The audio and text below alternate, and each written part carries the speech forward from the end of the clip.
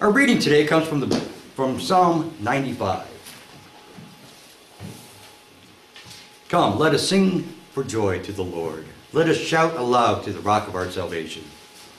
Let us come before him with thanksgiving and extol him with music and song. For the Lord is the great God, the great King above all gods. In his hand are the depths of the earth, and the mountain peaks belong to him. The sea is his, for he made it, and his hands formed the dry land. Come, let us bow down in worship. Let us kneel before the Lord our Maker, for he is our God, and we are the people of his pasture, the flock under his care. Today, if only you would hear his voice.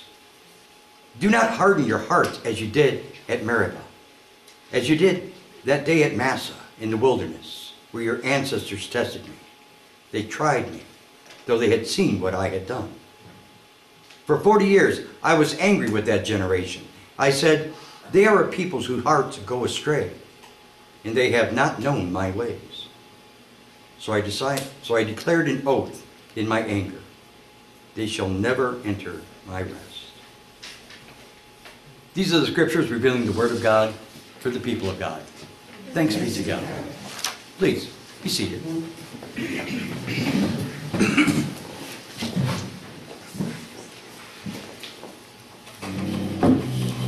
Well, this morning, as I mentioned earlier, we're kind of on the downhill stretch to another Thanksgiving Day.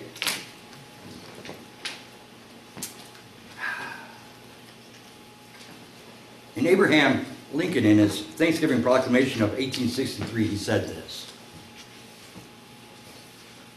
The year that is drawing towards its close has been filled with blessings of fruitful fields and healthful skies.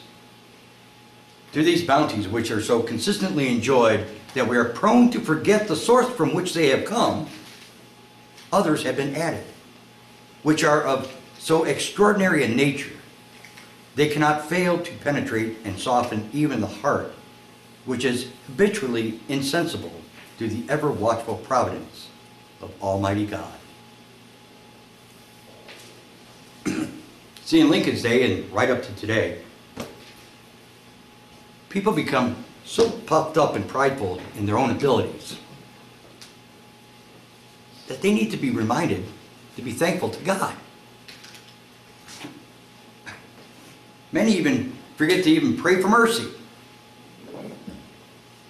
We seem to forget that everything comes from God. Everything. I mean, the psalmist, he said it long before the time of Lincoln. Today, if you hear his voice, do not harden your hearts as you did in Meribah, as you did that day at Massah in the desert, where your fathers tested and tried me, though they had seen what I did. Now, the psalmist, he's referring to a time when the people were complaining. Imagine that, the children of Israel complaining.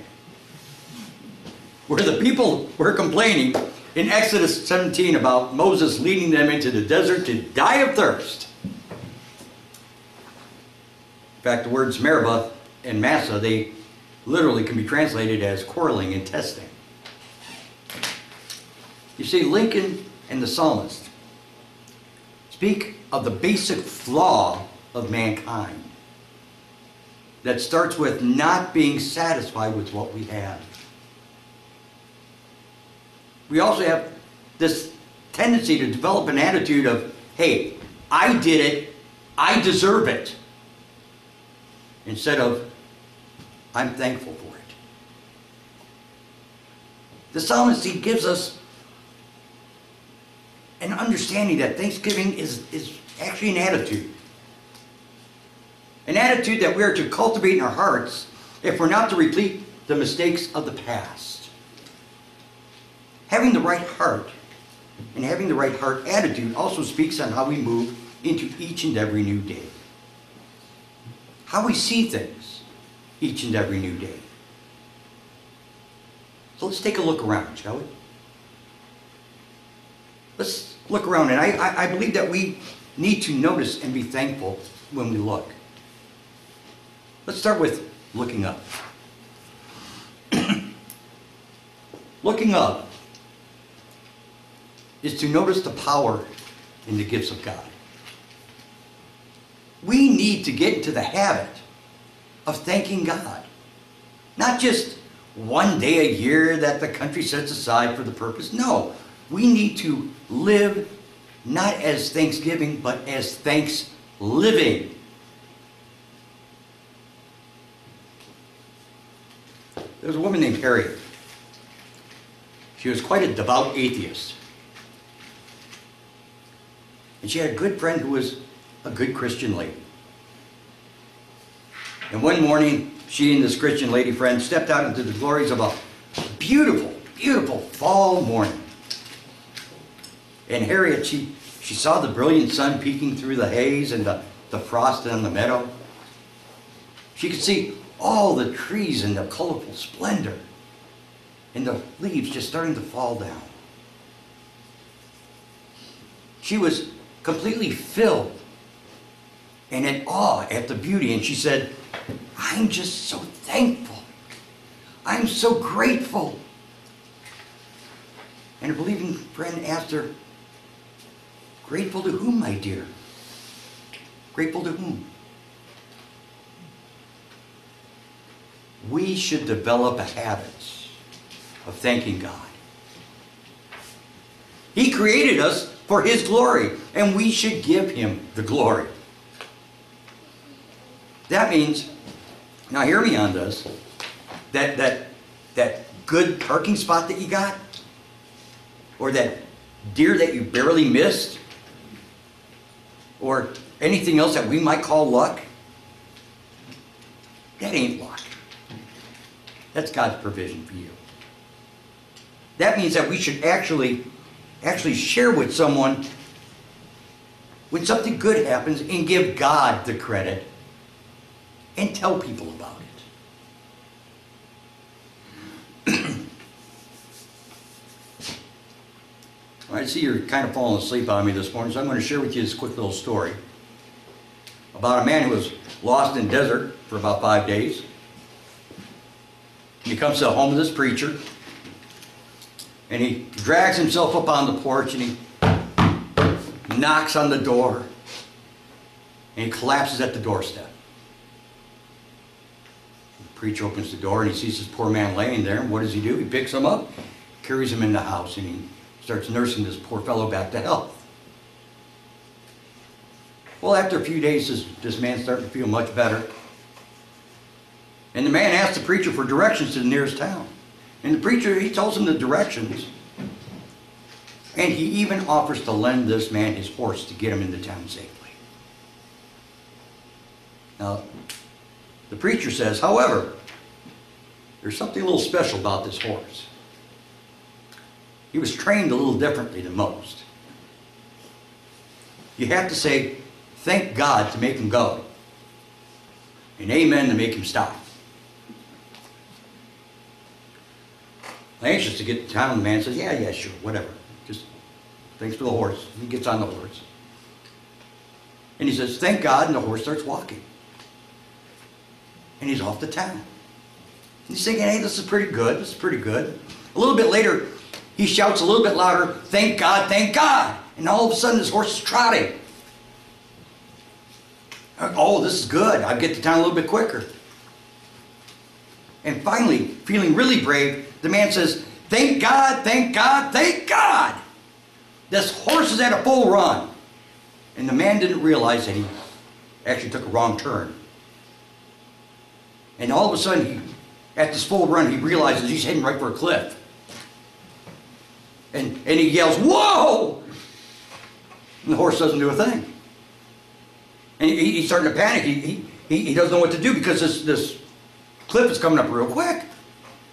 He said, Whoa, stop, hold on, please. Horse won't stop. And oh, finally he remembers, Amen. And the horse squats down and he slides to a stop about two inches from going over that cliff. Stop. The horse stopped so fast, I almost threw poor fellow right off the top, right off the saddle and over the horse's neck. And this poor fellow, he's just sitting in the saddle, leaning back, his heart's just thumping and thumping. Sweat is on his face. He wipes it off. Gasping for air. With relief, he says, Thank God. Brothers and sisters, being thankful to God is understanding His promises, that our God actually knows you exist. You ever think about that during the day? God knows you exist. Yes, God knows you exist and He hears your prayers. He sent His Son to remove the barrier of sin that separated us from Him. So, looking up, we should notice the presence of God. Looking up, we should notice the plans of God. Looking up, we should notice the protection of God. Now, how about looking around ourselves? My life is pretty good. I'm comfortable. Perhaps I could even dare say I'm content. But contentment can easily be lost depending on how you look at things. People say, I rarely need anything. And then all of a sudden the advertisement starts, doesn't it? You start getting those catalogs in mail. Some may say, well, you know, my old truck my old car, it's good enough for now. Until they see some really nice new car or truck out there. I'm satisfied with my clothes, can disappear with a stroll through the mall. How about I love our home? Until I think about what it'd like to be living in a mansion, or even better for me, a cabin down by the lake somewhere.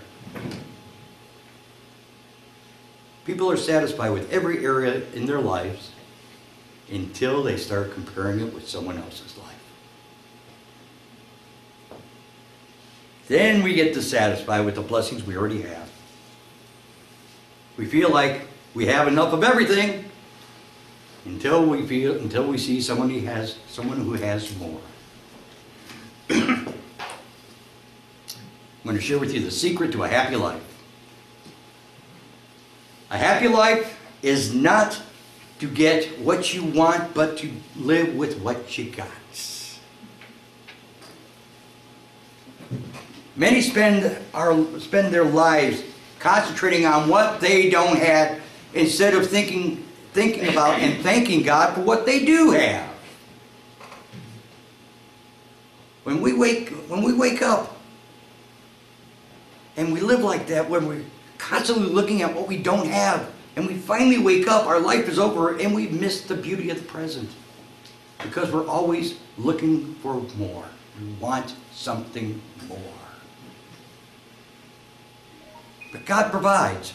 Verse 7 says, For he is our God, and we are the people of his pasture, the flock under his care. It seems like we are so short sighted that we don't know what we got until it's gone. This past summer was a reminder of that, wasn't it? What is he talking about, Pastor? Remember when the power went off for a few days? Yeah!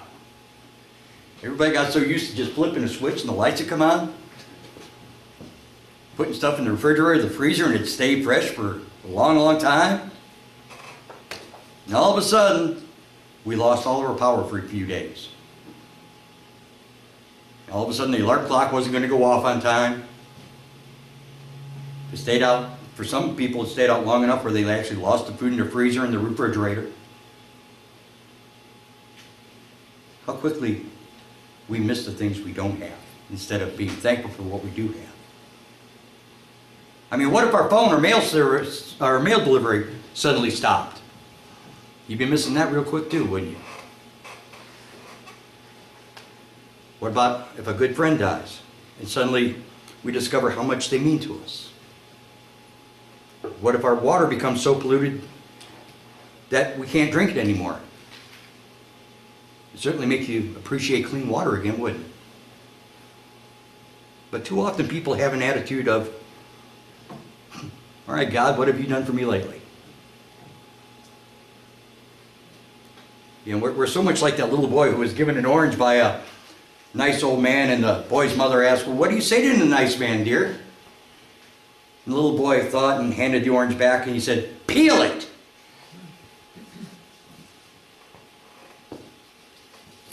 Do you know in regions of Mexico, there are actually areas found side by side where they have hot springs and cold springs running together. Did you know that? And it's a natural phenomenon, and because it's a natural phenomenon, the women often bring the laundry there. They wash their the, the, they wash their clothes in the hot water and they rinse it in the cold. It's really convenient. And the tourist watching the procedure commented to his to his guide and he said, Wow, they must think God is awful generous to freely supply such ample, clean, hot and cold water. And the guy replied, No, there's usually much grumbling because God doesn't supply the soap. Brothers and sisters, look at the things around us. Look at the things around us. Notice the scenery around us. We just had the most beautiful fall, didn't we? The Christmas of the, the crispness of the air. And during those colors and, and the way the air felt, I'm reminded to be thankful. Yes, I know that the leaves fall off and the color goes away. But that's no reason not to give thanks, is it? Looking around me, I'm grateful and I, I'm thankful for the generous provisions of our God. Looking around me, I am thankful for the scenery which changes every season to something new and amazing. Yeah, frost can be cold, but it can be pretty too, can't it? Looking around me, I'm, I'm thankful for the people that God has placed around me, including all of you.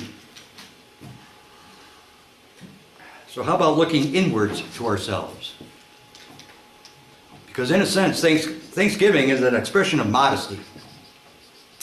To offer thanks is to confess dependence, to acknowledge that others have the power to benefit you, to admit that your life is better because of their efforts. See, the yearly celebration of Thanksgiving should only be the highlight of thanks living. The art of thanks living is, a, is gratitude in action, demonstrating your gratitude. It's thanking God for the gift of life by living it triumphantly. Brothers and sisters, if it reaches your hand, let it reach your heart too. It's thanking God for your talents and abilities by accepting them as obligations to be invested in the common good of all.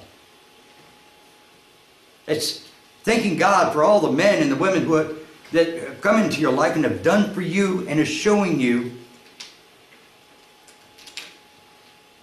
their, great, their thankfulness and their gratitude.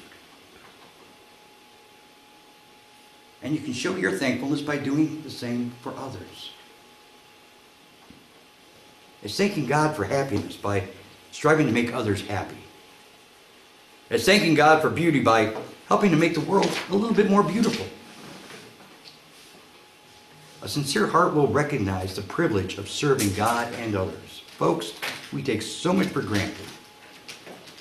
We don't say thank you to God or others near enough. Come, let us sing for joy to the Lord. Let us shout aloud to the rock of our salvation. Let us come before him with thanksgiving and extol him with music and song. For the Lord is a great God and the great King above all gods. In his hand are the depths of the earth, and the mountain peaks belong to him. The sea is his, for he had made it, and his hands formed the dry land. Come, let us bow down in worship. Let us kneel before the Lord our Maker, for he is our God, and we are the people of his pasture, the flock under his care. All glory be to God. Amen. Amen.